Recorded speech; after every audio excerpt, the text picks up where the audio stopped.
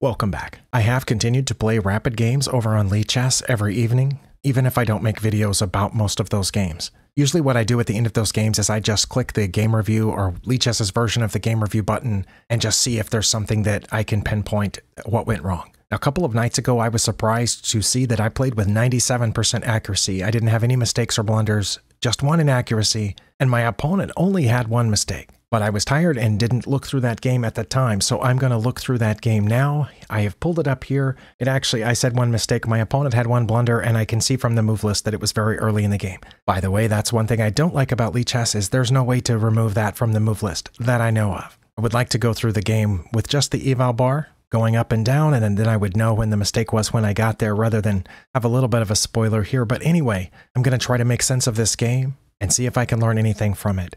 We did open with the Caro-Kann defense, and I have seen this exact variation a lot. Now, before that knight comes out to f3, here, what I believe is played at the higher levels is not knight to f3, if and when the Caro-Kann is played at higher levels. Almost always you see d5. I did notice that the higher that my rapid rating got on both Lichess and chess.com and the higher that my daily or correspondence ratings got, the more likely I was to see d4 played here. But as my ratings dropped a little bit, I saw a lot more of the knight to f3 coming out. And so in this position, we almost always see a take here and then a recapture. And my opponent has given up a center pawn for one of my not center pawns. But this opponent did something different. They pushed the e-pawn, and I don't see that very often. I'm going to look at Stockfish and see, but e5 is right there, so okay, maybe that was best. But definitely not taking, which is what I usually see. I wonder what the, the master's database says knight to c3 is by far the most common here. Okay, and the player's database says taking. Okay, by far, for players, the most common is to take in this position.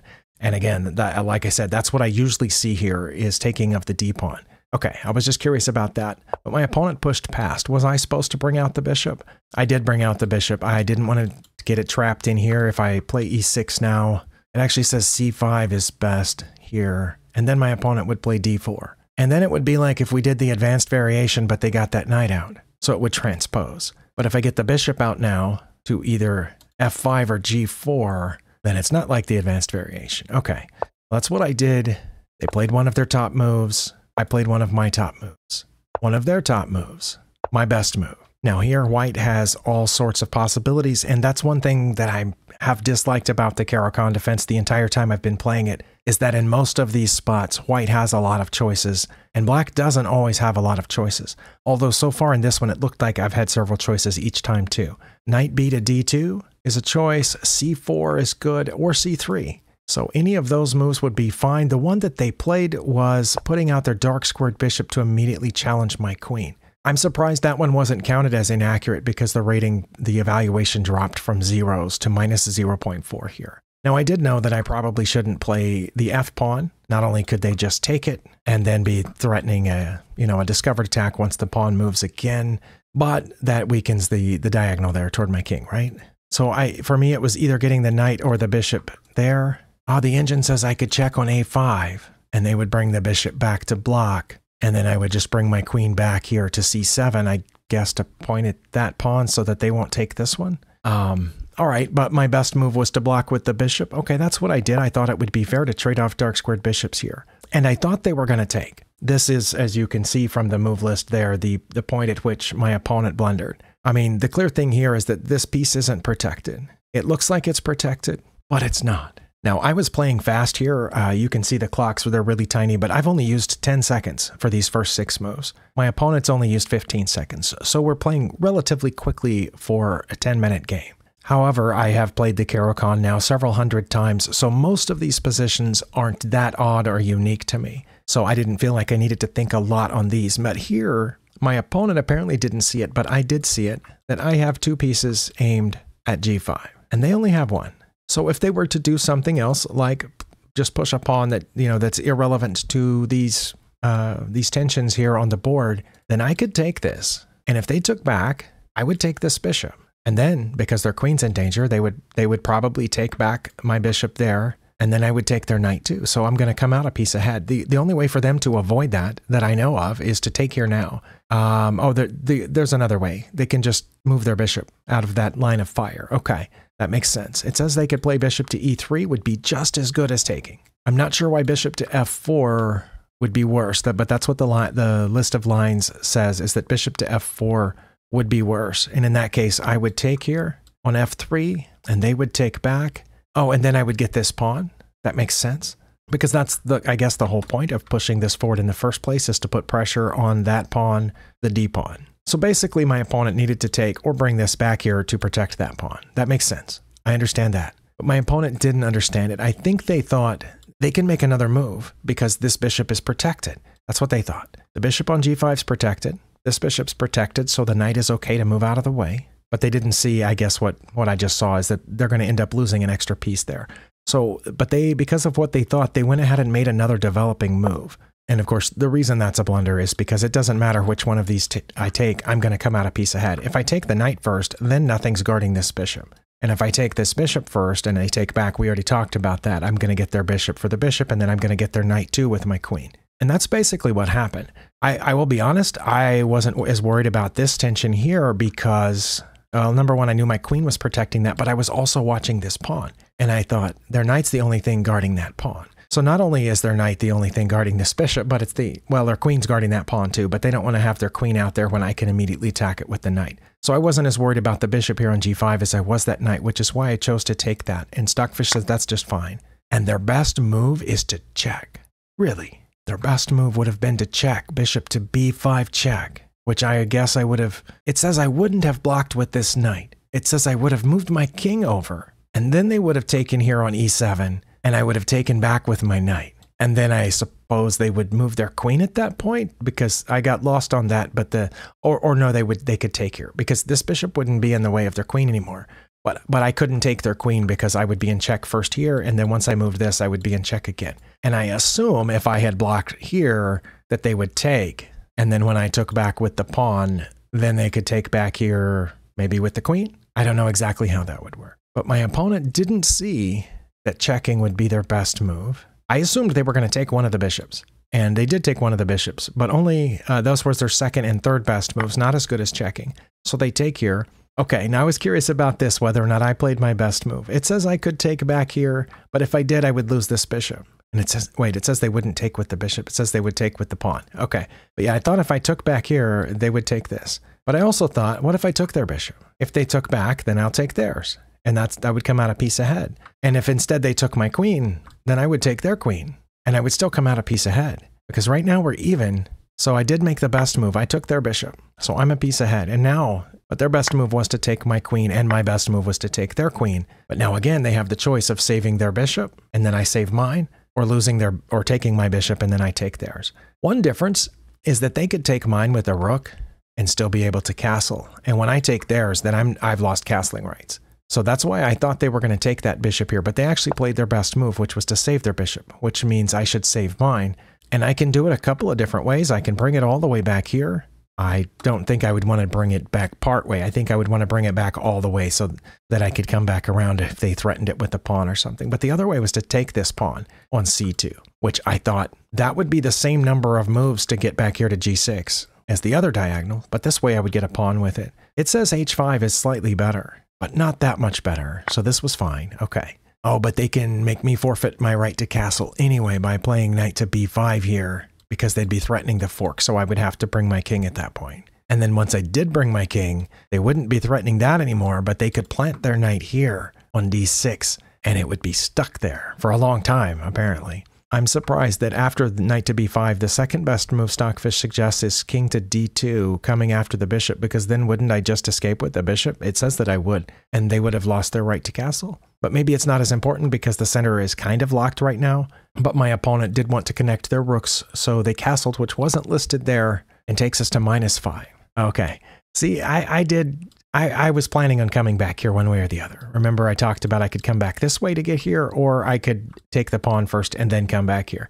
And even though they didn't come after my bishop, I was still concerned about that. But Stockfish isn't concerned about that. It says I can just go here. Oh, you know what? That's my second best move. Bishop to d3. That would have been nice. Not only does it threaten the rook, which I assume would move, it says that it would, but then I can play c4, protecting my bishop, I didn't even think of that. But Stockfish says my best move is to actually just threaten the bishop now, and it would have come back. And then I would have played here, bishop to d3, ready to post it in place with that pawn.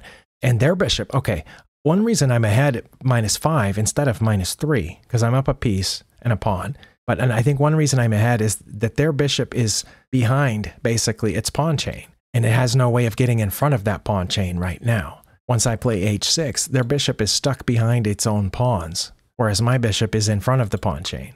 Well, I did what I had originally planned, which was to come back here. It is one of their top moves to take this pawn, so they did, and now I'm supposed to play h6 or a6. Uh, I guess a6 is to keep their knight from coming in this way, but knight to c6 is up there, and usually in the Caro-Kann. Now, all this other stuff hasn't happened yet, but we've got these these pawns here, and when they take that one, usually what I do is put this knight on c6, and that's that's the best move. Not on move 12, but like on move 5 or something. But when I saw that, I thought that's probably the best move, but it says if I do that, they will put this knight in here. Did they? I put this here. It is definitely one of their best moves to play knight to b5, and they did. Oh, and I'm just supposed to bring the king? Okay, so I thought that usually when this knight comes here that I'm supposed to bring this rook over to guard this spot, especially since my knight is guarding a7. But it says no, I should have brought my king to d7 or threatened their bishop or just what, what, really? It's my third best move to put my knight on e7 and they're not going for the fork. They're going for in here on d6.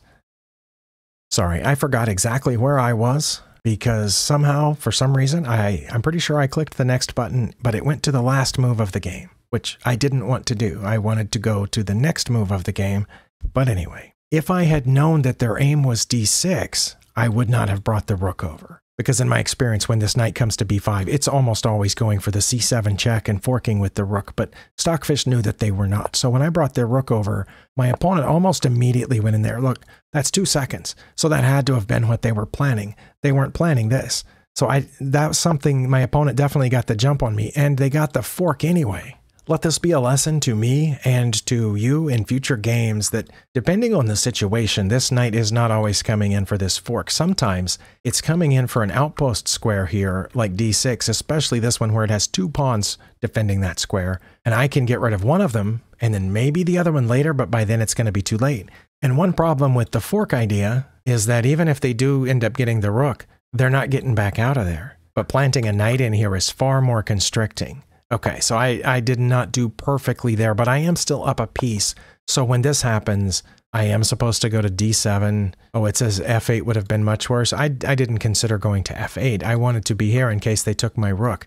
So I went there. Okay, and this surprises me. They're not supposed to take my rook. They're supposed to play a pawn move according to Stockfish. f4, f3, or b4. Okay, I understand f4 because it's protecting this vulnerable pawn right here because my, my knight's currently attacking that pawn, right? I'm not sure I understand b4. It says I wouldn't take it, but I could. I could just take it. I don't know how bad that would be. But I don't understand f3 or b4 now. I thought they were going to take a rook here. My opponent didn't do any of those things, what they were supposed to do or what I was expecting. They moved this rook over, coming after this completely defended pawn. That might not have been what they were doing. They might have been trying to lift it around, maybe, coming this way, possibly. But I mean, that's defended too. So I don't know what rook a to d1 does. I guess it's technically a semi-open file since they don't have a pawn on that file, but but it's not helping them at least in any way that I can see. Well, I was because I was surprised they didn't take my rook, which again is what I had been expecting. Or for that matter, they could have taken a free pawn right here and then come right back. They didn't do either one of those things. They would have gone up one point of material by that maneuver. They would have gone up two points of material by going there and letting me take. Well, I didn't want him to do it on the next turn, either one of those, which is again what I thought they were going to do, so I moved the rook up. As soon as I did, I realized, oh wait, they can just go here now and challenge my rook again, but but that's not one of their best moves. But they could. But their knight their knight is safe where it is. Their best moves again are pawn moves. A3, F4. Again, I understand F4 because my knight is pointed at that pawn. Or bishop to D2. Oh, I guess maybe trying to come around this way? Well, my opponent played their best move, and I'm supposed to get this knight out again or play f6. Well, as I just said on the previous turn, since I moved my rook, I thought my opponent might try to go here and, and do the exchange again. I was fixated on the knight for the rook exchange because the whole when they first went to b5, I thought that's why they were coming in there. And then when they went to d6 with the check and forked my king and rook, again, I thought they were going for that exchange and they didn't do it. What I should have realized by this point is that's not what they want. But I was still worried about it. And I was still worried that they could come here, but back to b5 and threaten my rook again. And I thought, what if I prevented them from going there? So I played a move that's not among my best. I prevented their knight from moving to b5, which apparently they were not intending to do. I think the reason a3 was their best move and the reason that my opponent found it is because it prepares b4, which is their best move now. So they surprised me by playing h4. I didn't know what that was about. Because remember, I said I understood f4. Well, as soon as I quit worrying about this exchange, I'm not worried about that anymore because now their knight doesn't have a way to get to my rook. Now I can focus back on that pawn, which is one of the reasons in the Caro-Kann you put this knight on c6 is because this pawn or sometimes that one is in, you know, needs taking. And so I took that. Is it my best move? It's one of my best moves. They are supposed to play b4 now or f4 to challenge my knight. They did play b4. Now, I'm not 100% certain, but I assume the reason for all of this is to try to break through on this side. And if so, I that really doesn't explain why they moved the rook over here in the first place when they moved that a rook over because you'd think you'd want the rook behind some of these pawns that are trying to break through on the queen side. I did finally decide it was time to play f6 because I would have multiple pieces defending that square, and it was time to get this knight and the rook out. Because I'm up a piece, but two of my pieces have not moved in the entire game. My opponent has moved all their pieces, so I did play this in the hopes of getting my knight out. Bishop to f4 is my opponent's best move, and I and I should have played knight to f7. I mean, sorry, knight to e7 or knight to h6. I, I wouldn't have played knight to h6, even though I was a piece ahead. I still don't want to do this because then I'm going to have two pawns stacked up there. And, and those two pawns are going to be isolated. Not that my opponent would take, but if they did, you know? But I guess I should have realized at this point, uh, every trade, every even trade should benefit me.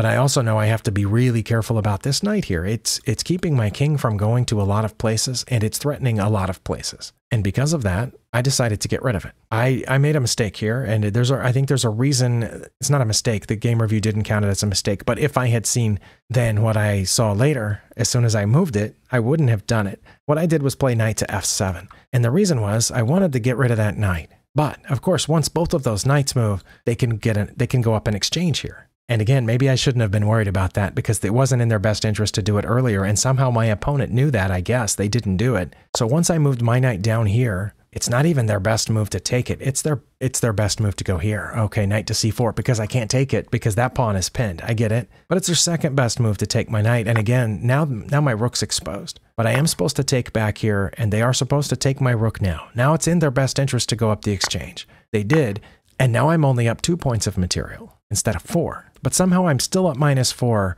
on the evaluation. Bringing the rook over was one of their best moves, and finally I played knight to e7. a4 is one of their best moves. Knight to c6 is what I played, but I should have played h5, which, okay, I get it. It stops that pawn from going anywhere. And I guess if they ever played this, I could take it, and then my rook's open down there. So h5, I get that. I don't ever, almost ever, get h5 when it says to play it on like move 10 or something. But here I definitely get it, and I really need to be considering that more often, especially when I have a rook down here. That rook still has not moved. Okay, e5, I get a5. Right now I was just noticing that my bishop was guarding the e pawn, but if I played it here, the pawn would be guarding it, and then my bishop would be guarding the d pawn. So, okay, e5, or rook to a8. Stockfish says, finally, move that rook. But I didn't. I, I, played this, going after this pawn that's probably just going to move now. It is their best move to move it, and they did. I'm supposed to go to e5 or a5 or back to where I was. Well, uh, once again, I picked the wrong move. I, I moved the knight to there. I, I think I see why that's the worst one of the possible knight moves, because that way, actually, you know what? I can protect that. So I'm not sure why that's worse. But yeah, I thought there, I can always move up this a pawn to, to protect it. And of course, if I moved there and they took this pawn, I could take with my other pawn. And if they tried to get me with the rook, then I could still protect my knight. So I'm not sure why that's bad. I, I, this one's fine. It's protected, but it blocks this pawn. I, I wanted to start moving that pawn at some point. So I don't get that. E7, do not understand that either. A5, nope. Okay, e even after seeing what Stockfish suggests, I like my move the best.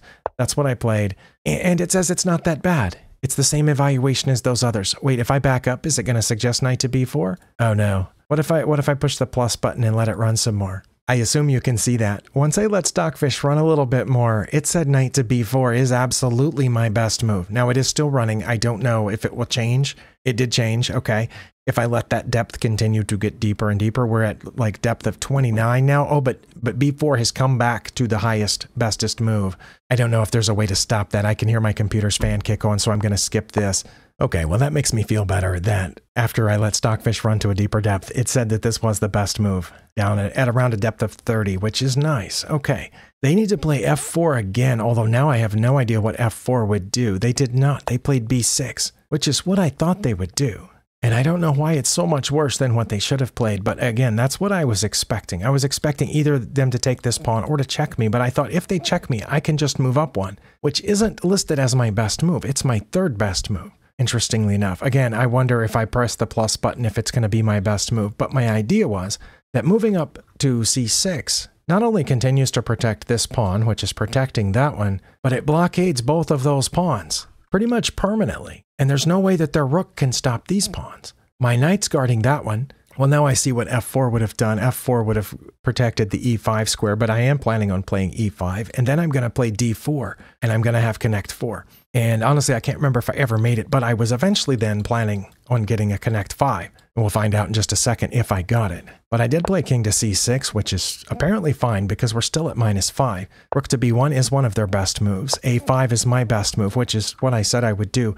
And now all three of those pawns are cemented in place in a lot of these situations, Stockfish will actually actually suggest throwing away a rook to get rid of a knight. But in this case, that would have given me a passed pawn. So I can see why it is not saying that. It is saying f4, and that's because they know I want to play f5. My opponent did not know that. They played g4, which allows me to play to play e5, which I did and was my best move. Now f4 is again their best move. Oh, no, f4 is among their best moves. Stockfish is having trouble deciding here. But f3 is listed. They did play f3. That, of course, prevents the next one, which I wasn't going to play. I told you I was going for connect 4. It is my best move, so I have connect 4 now. Now, at this point, my opponent played, did you guess it? f4. Now, they do have two pieces aimed at the e5 square. They have their pawn and their rook aimed there. But I can fix that by pulling a rook over. I can fix that by playing knight to c2 and ignoring that pawn for a minute because I'm threatening the rook. But then I don't know where I would have gone after that. It says they just would have moved the rook over one, and then I could have pushed past. If I played here and they went there, then I could have pushed past. But what if I played here and they just came up one? I don't know. We never we never got there. Well, I didn't see that, but I saw the next one listed, which is knight to d3. And the reason I saw that one is because I figured they would move their rook, and then I could get that pawn. So that's what I did. They did move their rook, but they went to a place where they could protect that pawn. It's not in my best move. It's not listed as one of my top three, but I went ahead and took it anyway. And I'm still at minus six it's not their best move, but they threw this rook in here. I, I don't I, I don't know what the idea was. Was it was it to protect this pawn? Maybe they were going after my a pawn. Well, I played my top move, which was to force the issue with this rook, bishop to d5. And I also thought, depending on where that rook went, I could I maybe harass the other rook too. That rook is supposed to go all the way back, and it did. And now, because my bishop is guarding this square, e5, I'm supposed to push that pawn forward. One of my Sorry, I said e5. It's e4. Supposed to push the pawn forward or put a rook behind it again or knight to d3 again. And they're all minus seven or so. I did play knight to d3 again. It's one of their best moves to challenge the knight. And uh, now I can play e4, which protects the knight and advances my pawn a little bit. It's one of my opponent's best moves to take the a5 pawn, which I guess is the reason that they came in there, and it's my best move to put the bishop here, because I want to keep pushing my e-pawn, but then my knight wouldn't be protected anymore. So putting my bishop here protects the knight so that I can push the e-pawn. And I have no idea why it says rook to d2 is their best move, because they know I want to push this, and it says that I would. In fact, my next move is e3, no matter what they do. But it says they would go there so that when I played e3, they would then just move over one. Oh, because they would be threatening the bishop. And they can't threaten the bishop this way because of my knight. So they would come here knowing I'm going to play e3, then skip over here to threaten my bishop. And what would I do once they... Oh, then I would put the knight back here where it would protect the bishop. Oh, nice. I, I don't know if I would have figured that out or not. My opponent went down here to, to challenge this defended pawn. They're very concerned about getting these pawns passed. They're not yet passed pawns even though two of them are across the halfway point. My b pawn, which is defended by my king, is preventing all of those pawns from being technically passed pawns just by its existence, but it's also keeping them from going anywhere. I don't know if they were thinking about sacrificing themselves and then hoping that they could just force their way through. I don't think it would have worked, but but when they did that, I, I made a mistake. My only inaccuracy of this game, I was supposed to play e3, but when, when they did that, I thought, you know what? They they undefended this pawn, and I took it. But that was bad. Yeah, it's not minus 10, minus 9, or even minus 7. It's minus 4. Well, what I thought is if they took this, which would protect that one, then I could just come down beside it. And then if they checked or something, I could just take that one too. I, I didn't see how they could get through. Also, I, I haven't moved this rook yet. It, it could come over at any moment and help, but he's very, very lazy. But what they did was this a5. I'm sure their idea was to protect this, but, but they could have protected that by taking this pawn. It's my best move now to, to bring this king back. It, it's not my best move to do what I did, which was this which which I thought was funny at the time uh, during the game. I thought that was funny, and I still do because these two, of course, protect each other. And guess where that rook's going to go? That rook's not going to go anywhere ever. So I locked this rook in the corner, uh, almost in the corner. Yeah, but he's stuck. My opponent decided it was time to bring their king, so they did that, and uh, it wasn't actually my best move, but I finally. On move 37, brought my H rook into the game, but I didn't bring it in the way that the engine wanted. The engine wanted to bring it over here. I don't know why but I figured I could help with these pawns. And also I felt bad for that rook. It hadn't moved at all yet. He probably felt bad too. Let's, let's assume that the rook also felt bad and wanted to help instead of just being lazy. Well, my opponent kept bringing the king. I think one of the problems with this, well, we'll find out the problem with that in a second.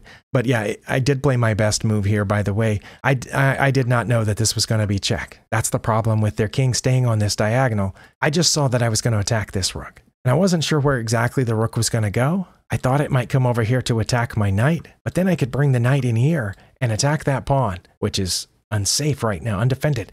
And my rook now is behind these two pawns. And the two pawns are friends. They can help each other. Sorry, it did it again. I clicked next and it went to the end of the game, skipping the final moves. That's so frustrating, chess. I didn't know this was going to be check when I played this move. When I played knight to b2, I just thought I was going after the rook, as I said, but it did turn out to be check. Uh, the king stayed on that diagonal, so this is check, and I'm going to win the rook. My opponent didn't play any of the best moves here. Their best move is to sacrifice their rook for that bishop, which is putting the king in check. And, and the engine thinks I wouldn't even take back yet. I would first check with d3 and then take back. But my opponent went the other way, not staying anywhere near the rook. So now I'm not just going up the exchange, I'm getting the rook for free with check. And there my opponent resigned. Okay, there were a few lessons in that game. I know this video took longer than it should have. It'll be shorter for you because I'm going to edit out the parts that messed up, where Lichess took me to the end of the game when I clicked the next button, or the couple of times where it... In, anyway, so I'm pretty proud of myself. I didn't play the best move every time, and, and I didn't think that I had. That was one reason I wanted to go through here to, to see what I could have done better. And also the I, I, I wanted to point out the part where I played knight to b2 check, which I didn't even know it was going to be check. I was just going after the rook. But I did, and I also thought it was funny that this rook got trapped in the corner. But I did feel bad for my opponent that they only made one mistake at the very beginning of the game, one blunder on move seven and they they also didn't play perfectly after that, but they played really well. No more mistakes or blunders, just a handful of inaccuracies. But that one blunder was enough. That by the time they got to this point, there wasn't much they could have done. There are a few places where they could have played maybe mildly, slightly incrementally better, and maybe if I wasn't and I wasn't playing the perfect move every time, maybe they could have closed the gap if they had played perfectly the whole time. For those of you who ask, I am currently rated 1595 in Rapid on Lichess. I know that that rating doesn't show up here on the board when I'm going through these games, but some of you will ask, and then I'll know who didn't watch the video. Thank you for spending your time here. I'll see you next time.